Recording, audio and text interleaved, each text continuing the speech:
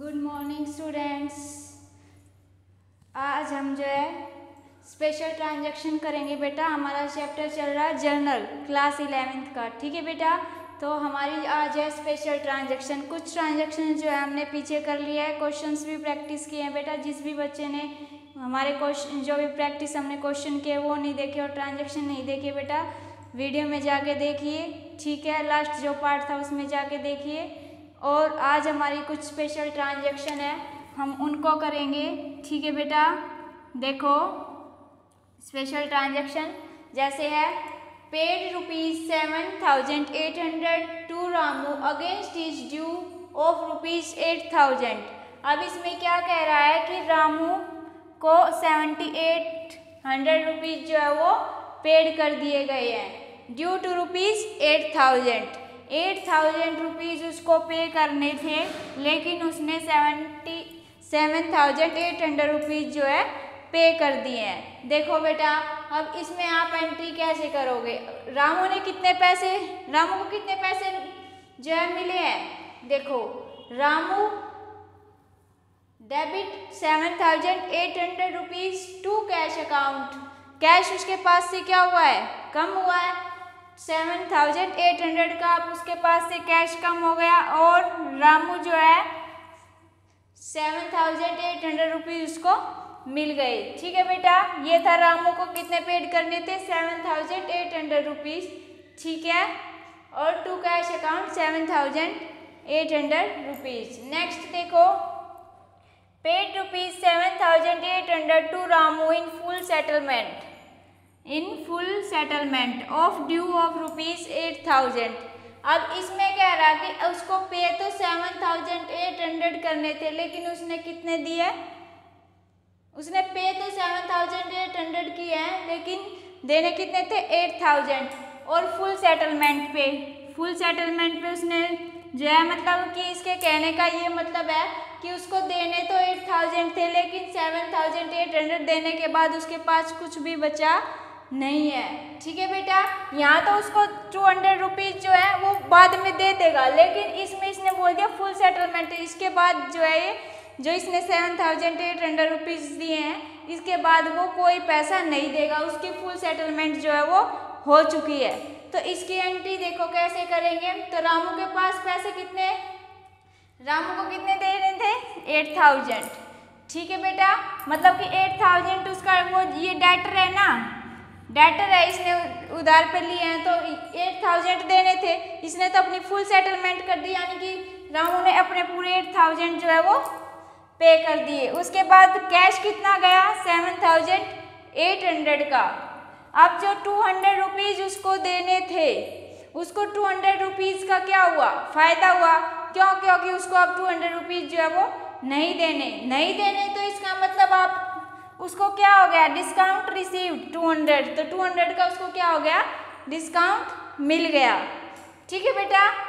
तो ये एंट्री ऐसे करेंगे। ये एक स्टार पॉइंट है बेटा। तो Ramu debit eight thousand eight thousand उसको जो है, उसकी फुल सेटलमेंट हो गई है। टू कैश उसके पास से इतना गया है। Discount receive two hundred rupees next देखो बेटा।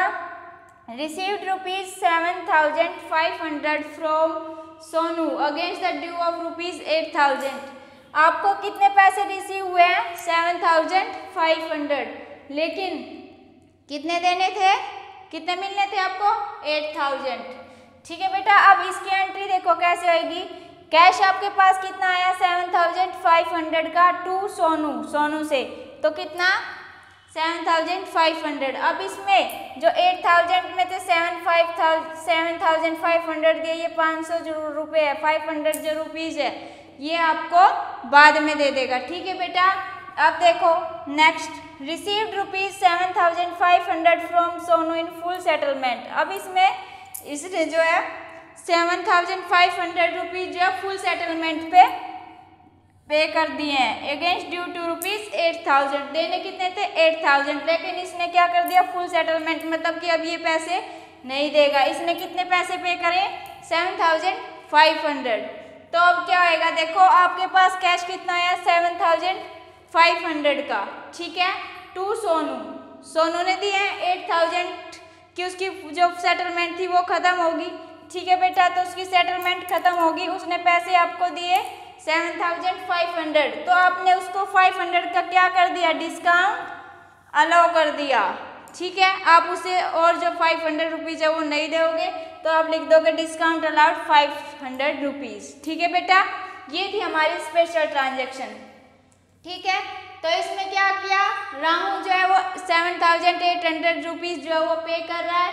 फाइव टू हंड्रेड रुपीज़ वो बाद में देगा।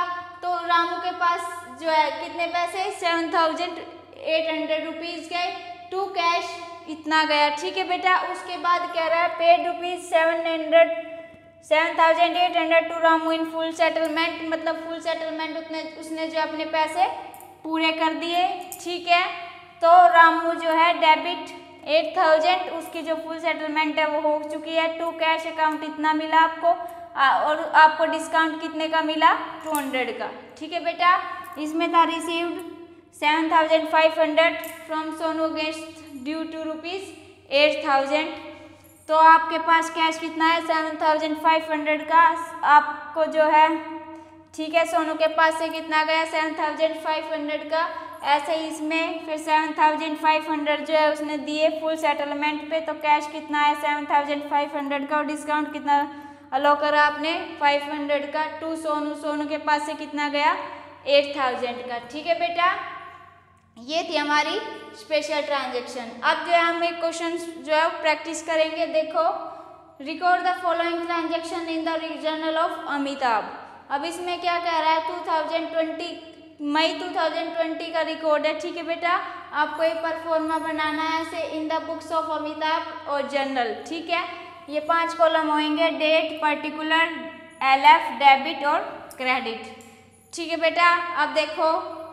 मे वन मे वन में क्या कह रहा? Amitabh started business with cash मतलब कैश से आपने क्या किया है? बिज़नेस स्टार्ट किया है। तो May one cash account debit to capital account eight thousand eight thousand narration आप क्या लिखोगे? बीइंग कमेंस्ड बिज़नेस ठीक है बेटा?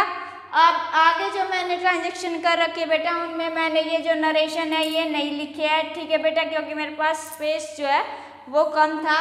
तो आपको जो है हर ट्रांजेक्शन के बाद यहाँ पे नरेशन जो है खुद लिखनी है। ठीक है बेटा? अब देखो next transaction purchase furniture from modern furniture for cash मतलब कि क्या खरीदा है? फर्नीचर कैसे? कैश में। तो furniture account debit to cash account ten thousand ठीक है बेटा? मे टू की है। अब आएगी मे फाइव मे फाइव में क्या किया? डिपॉजिट इन बैंक बैंक में आपने क्या किया है? पैसे डिपॉजिट किया। तो bank account debit to cash account thirty thousand ठीक है बेटा? क्योंकि बैंक में कैश जो है वो गया है। ठीक है बेटा? नेक्स्ट देखो। Six May purchase goods for cash cash में आपने क्या खरीदा है? गुड्स तो purchase account debit to cash account ठीक है बेटा? फाइव थाउज़ेंड नेक्स्ट आती है purchase goods on credit from Hari purchase goods on credit from Hari Hari ने क्या किया है? गुड्स परचेज किए हैं। तो 8 May purchase account debit to Hari ठीक है बेटा? थ्री थाउज़ेंड नेक्स्ट देखो। Purchase goods from Suresh for cash मतलब कि कैश में सुरेश ने क्या खरीदे हैं? गुड्स तो क्या आएगा? पर ten May purchase account debit to cash account three thousand ठीक है बेटा?